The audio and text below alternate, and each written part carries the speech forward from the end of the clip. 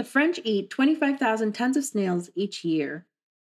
Did you know that France consumes over 25,000 tons of snails every single year?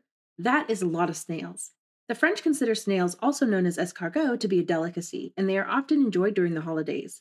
In France, cooking snails in butter and garlic is one of the most popular methods of preparing them.